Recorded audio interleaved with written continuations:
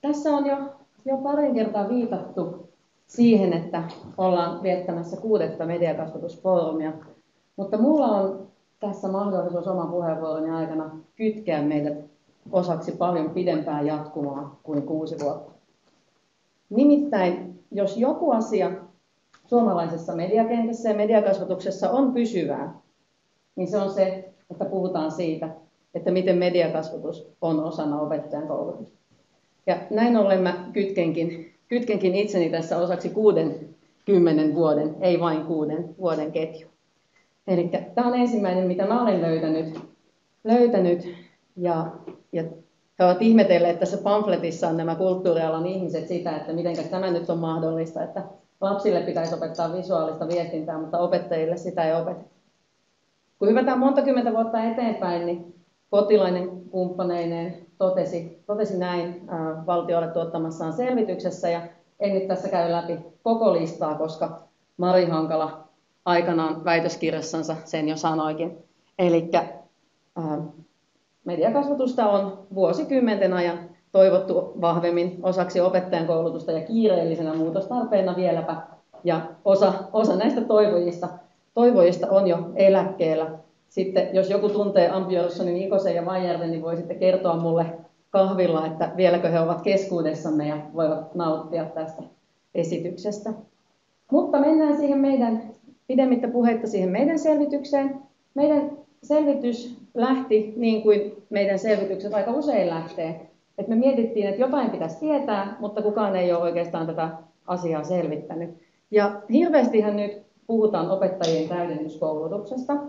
Ministeriölläkin on, on isoja, isoja kärkihankkeitakin opettajan koulutuksesta, opettajien täydennyskoulutuksesta, digitalisaatiosta ja näin poispäin. Paljon puhutaan siitä, että varttuneet opettajat eivät ehkä ole ihan mukana näissä viimeisissä muutoksissa, mutta itse asiassa eihän me sitä tiedetä, että onko ne ihan noviisiopettajatkaan kuinka, kuinka hyvin tässä kartalla. Ja kymmenen vuotta aikaisemmin Media hankkeen yhteydessä toteutettiin edellinen vähän vastaavan kaltainen selvitys. Ja silloin todettiin, että 70 prosenttia tähän selvitykseen vastanneista opiskelijoista totesi, että ei ole tarpeeksi. Ja tästä me sitten lähdettiin katsomaan, että mitäs nyt kun maailma on muuttunut ja opetussuunnitelmat on muuttunut, että onko tämä tilanne muuttunut.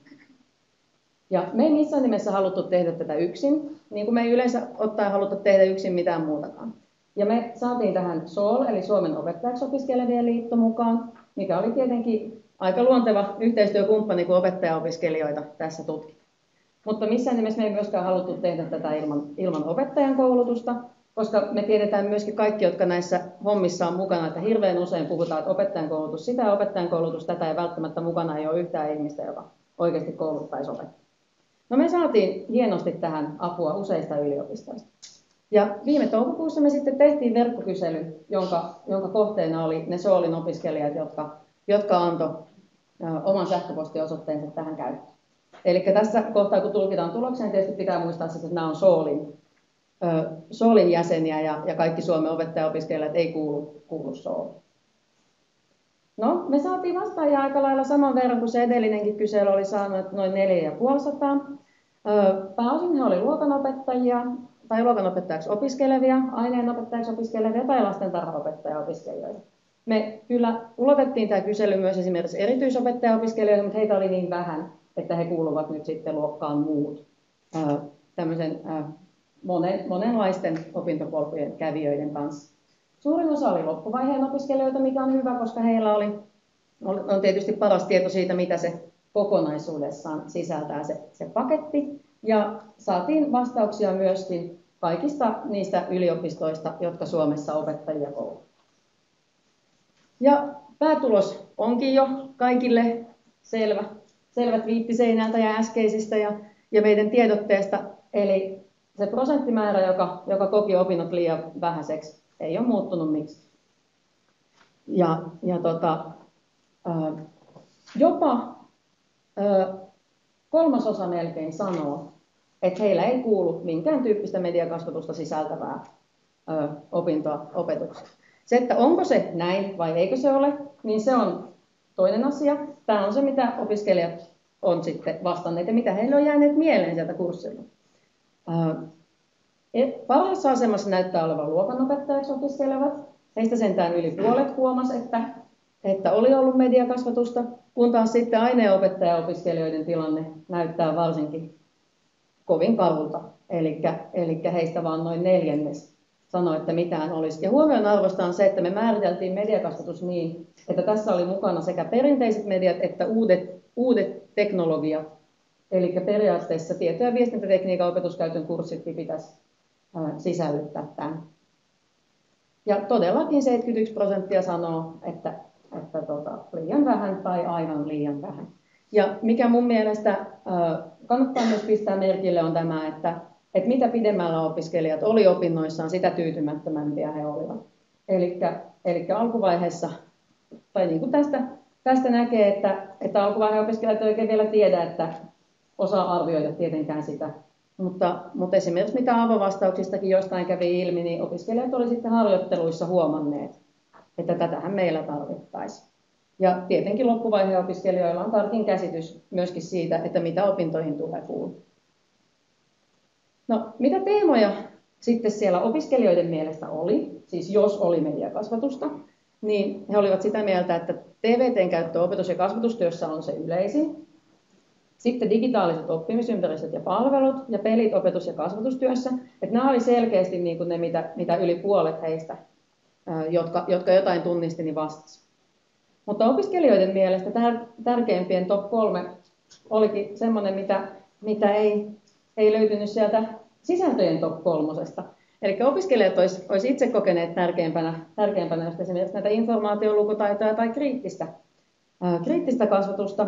Ja mikä ikävää, niin tosiaan mikään näistä, mikään näistä, mitä opiskelijat piti tärkeimpänä, niin sitä ei sitten ollut edes puole, puolessa niiltä, ketkä ajattelivat, että mediakasvatusta ylipäätään on. No sitten sitä voisi tietenkin luulla, että jos sitä mediakasvatusta on kerran niin kauhean vähän, niin sitä opiskeltaisiin kauhean ahkerasti sivuaineena. Mutta tältähän se ei, ei sitten näytä. Ja siis me kysyttiin, että sivuaineena tai muina valinnaisina opintoina, eli ei mitään kokonaista sivuaine kokonaisuutta olisi tarvinnut vastata tähän, vaan periaatteessa kaikilla kuuluu jotain yksittäisiä kursseja, mitä sitten napsitaan sieltä täältä, mutta ilmeisesti niitäkään ei ollut sitten otettu. Ja itse asiassa epätietoisuus siitä, onko yliopistossa ylipäätään mahdollista opiskella mediakasvatusta sen pakollisen ulkopuolelta, oli hyvin suuri. Ja täältä tämä nyt sitten noin niin kuin nopeasti läpi juosten näytti. Ja entä sitten? Yliopistot päättää opetuksestaan ja tämä on ihan selvä juttu. Eli vaikka tämä on selvä juttu, niin mä haluan sen tietenkin tässä vielä, vielä hyvin selvästi tuoda esille, että mehän virastona ei voida eikä haluta päättää siitä, mitä yliopistoissa opetetaan. Eli se, mitä yliopistoissa opetetaan, on, on niin kuin yliopistojen käsissä. Mutta siksi me ollaankin niin iloiset, että me saatiin tähän raporttiin puheenvuoroja useista eri yliopistoista. Ja me pyydettiin kommentteja ja kehittämisehdotuksia, mikäli tarvetta kehittämiselle olisi. Totta kai ihmisellä on myös oikeus ajatella, että ei ole tarvetta kehittämiselle, mutta kaikki kommentoivat kuitenkin löys kehitettävää. Ja myös toimivia käytäntöjä nostettiin esille, eli tilannehan ei tietenkään ole se, että mitään ei ole missään tehty, vaan meillä on myös hyviä toimivia käytäntöjä olemassa, ja niitä löytyy myös, myös näistä kommenttipuheenvuoroista.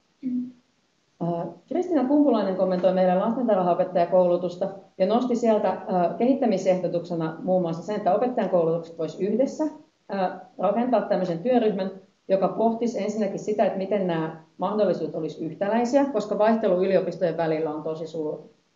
Ja toisekseen myöskin se, että pitäisi määritellä se mediakasvatukseen liittyvä osaaminen, mitä ylipäätään on se osaaminen, mitä lastentarhan opettajat työssänsä tarvitsevat. Minna Sääskilahti Oulun yliopistosta muistuttaa meitä hyvin tärkeästä asiasta, eli siitä, että jos jotain lisätään, niin jotain on otettava pois. Nimittäin sehän on, sehän on ikään kuin löyty lukko, että kuinka laaja se koulutus on. Ja aina on helpompi sanoa, mitä pitäisi olla lisää, kuin ilmoittaa, että mikä on turhaa ja mistä luovut. Mutta tässä oli myös hyvä idea tämä mediakasvatuksen polut, jotka ikään kuin sitten, sitten tota, olisi siellä niissä kurssien sisällä niin, että se kulkisi mukana samalla tavalla kuin sen tulisi kulkea tällä hetkellä opetuksessa. Aineopettajakoulutuksesta kommentoivat Mari Hankala ja Meri Kauppinen Jyväskylän yliopistosta. Ja äh, tässä on myös mun mielestä hyvin tärkeä huomio tämä, että mediakasvatuksen juonteet pitää tehdä näkyväksi. Koska jos mediakasvatus, niin kuin me toivotaan, integroituu sujuvasti osaksi kaikkea opetusta, niin se voi integroitua sinne niin sujuvasti, että opiskelijat eivät ole tajunneet oppineensa mediakasvatusta, jolloin se on itse asiassa hyvin vaikea myöskin siirtää sinne omaan, omaan opetukseen toisaalta. Ja Sirkku Kotilainen ja Heli Ruokomo Lapin yliopisto kommentoi sivuaineen muista opinnoista siitä, että pitäisi saada enemmän yhteisopintoja mediakasvatukseen ja TVTn opetuskäyttöön, koska niitä rajoja voi nykymaailmassa kyllä aivan hyvällä syyllä pitää teennäisinä. Ja myöskin sitä, että, että tietenkin tiukka oppiaineen jakoisuus opettajan koulutuksessa voi vaikeuttaa mediakasvatuksen aseman vahvistamista. Ja Soolin kanta. Tietenkään me ei tehdä tätä kysymättä opiskelijoilta, että mitä nyt.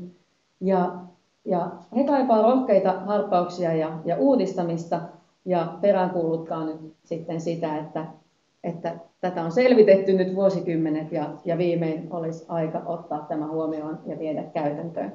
Ja nämä terveiset tulee Soolin puheenjohtaja Jesper Lempiäiseltä ja pääsihteeri Susanna Jokinen.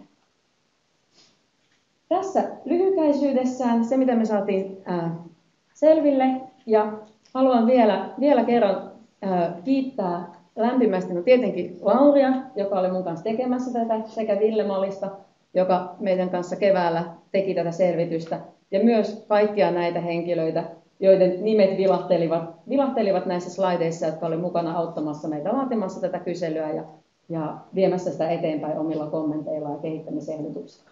Kiitoksia.